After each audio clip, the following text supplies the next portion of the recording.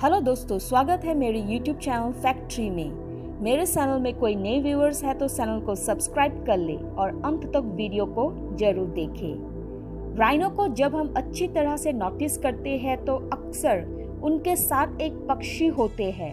Red build oxpecker सटीक तरह से वे अक्सर राइनो की पीठ पर सहयात्री होते हुए पाए जाते हैं, जो राइनो के पीठ से टिक्स या अन्य पैरासाइट्स को ढूंढ के खाते हैं।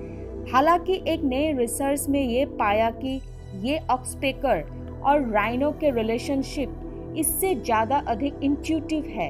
लाउड ऑक्सपेकर्स अक्सर अलार्म के रूप में काम करते हैं। अगर ये किसी भी इंसान को नोटिस करता है तो राइनो को अलर्ट करते हैं। हालाँकि ऑक्सपेकर की दृष्टि तेज होती है।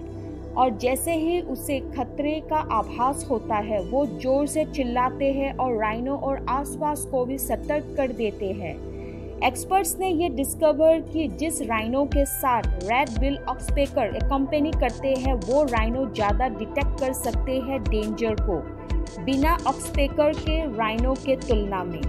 एक बार बहुमत में देखे जाने वाले ब्लैक राइनोज आजकल पॉपुलेशन में कम होते जा रहे हैं। यहाँ तक रेड बिल्ड ऑक्सपेकर्स भी कम होते जा रहे हैं। पहले तो ये पैरासाइट्स या टिक्स कैटल में मिलने वाले खाते थे, लेकिन आजकल कैटल को फार्मर्स पेस्टिसाइड से ट्रीट करते हैं, जिससे पेस्टिसाइड वाले पैरासाइट्स खाने से ये बर्ड जल्द ही मर जाते हैं। तो आजकल ये बर्ड्स मोस्टली ब्लैक राइनोज में चिपके रहते हैं, लेकिन ये राइनो और ऑक्सपेकर्स के जोड़ी इतना इफ़ेक्टिव नहीं होते क्योंकि शिकारी रात के समय शिकार करते हैं राइनो की।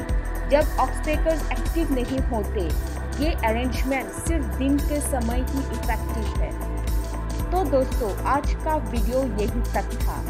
आज के ये जानकारी आप लोगों को अच्छी लगे तो लाइक शेयर और कमेंट बॉक्स में कमेंट कर दीजिए। और जल्द ही मिलते हैं एक नई वीडियो में। और तब तक के लिए stay safe and stay healthy